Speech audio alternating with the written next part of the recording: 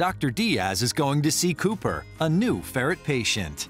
Well, I'm Janice, and we're here because we wanted to see what was wrong with our ferret. Name's Paul, same thing. Well, we're here with Cooper today.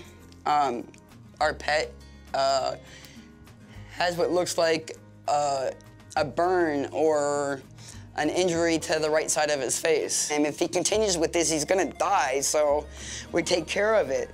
How are things going? Not so good with our little buddy here. I'm really concerned because I could smell it from far away. he smells, he's so infected that he Yeah. has such a strong smell. I thought that that was me. No.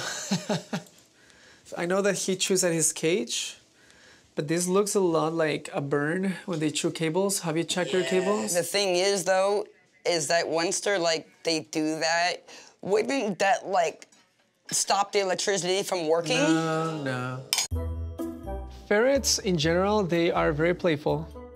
They love to hide things. They go into your purse, get something out, and they usually would have a hiding spot in the house. Even though they tend to chew at cables, it's very rare when they actually electrocute themselves. We have a huge, huge wound. Um, is he eating? Yes, he does eat baby food bananas at times. He just walked up and I thought, okay, well, this is good. They won't eat raw meat. And of course, you can tell he's under stress too because he like looks like he's thinning a little bit. Yeah, he's, He's he's a little thin. He's I could definitely give him thin. sugar water, couldn't I? Definitely no sugar for this guys. They're carnivores. You don't want to load them with sugar. Um, but, But here's the like thing. they like stuff with Oh, sugar, they, don't they? I love bacon and I love ice cream, but that doesn't mean that it's good for me. But coming back to the main problem, this is really, really, really serious, and I'm very concerned.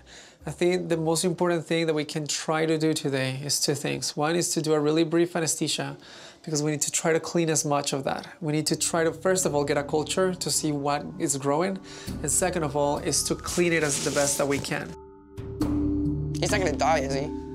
This is very serious.